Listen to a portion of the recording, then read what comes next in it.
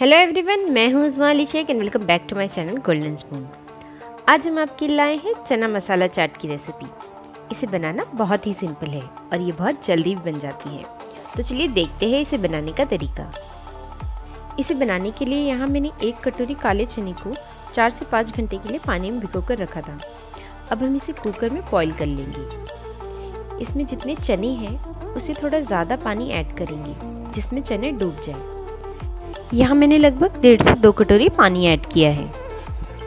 इसे तीन से चार विसल आने तक कुक कर लेंगे हाई फ्लेम पर। अगर आपको मेरी रेसिपीज़ अच्छी लगती है और आपने मेरे चैनल को अभी तक सब्सक्राइब नहीं किया है तो प्लीज़ सब्सक्राइब माई चैनल। ये बिल्कुल फ्री है और प्रेस बेल बटन ताकि आपको मेरे आने वाले सभी इंटरेस्टिंग रेसिपी की नोटिफिकेशन मिलती रहे and also like comment and share with your family and friends thank you तीन से चार विसल में ये अच्छी तरह गल गए हैं। ये देखिए। और इसमें थोड़ा पानी रह गया है तो इसे ऐसे ही रहने देंगे।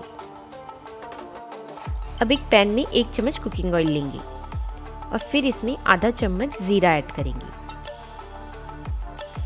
ज़ीरा फ्राई होने के बाद इसमें चार से पाँच करी लीव,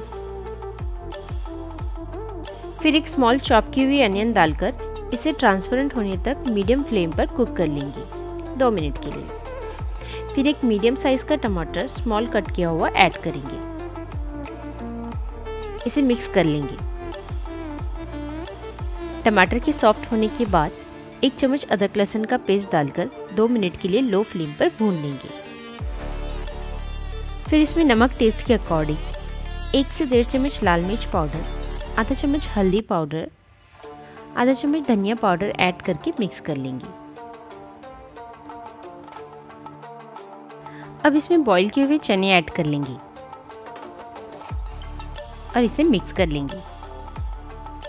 इसके बाद इसमें एक चौथाई कप पानी डालकर इसे ढक देंगे और चार से पाँच मिनट के लिए कुक कर लेंगे।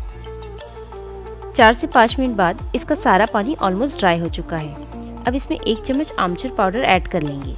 आमचूर पाउडर की जगह आप यहाँ लेमन जूस भी यूज़ कर सकते हैं। फिर इसमें थोड़ी प्याज, टमाटर और चॉप्ड हरी मिर्ची डालकर मिक्स कर लेंगे। इसे 30 से 40 सेकंड तक कुक कर लेंगे। और फिर चॉप्ड हरा धनिया डालकर गैस की फ्लेम को बंद कर देंगे। इसे सर्व कर लेते हैं। हमारा चना मसाला चाट बनकर रेडी है। फ्रेंड्स जैसा कि आपने देखा, ये बहुत ही जल्दी बन जाता है।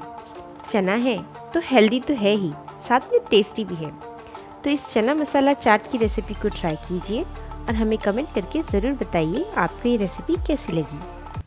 Please share and subscribe my channel और जल्द ही मिलते हैं एक नई और इंटरेस्टिंग रेसिपी के साथ।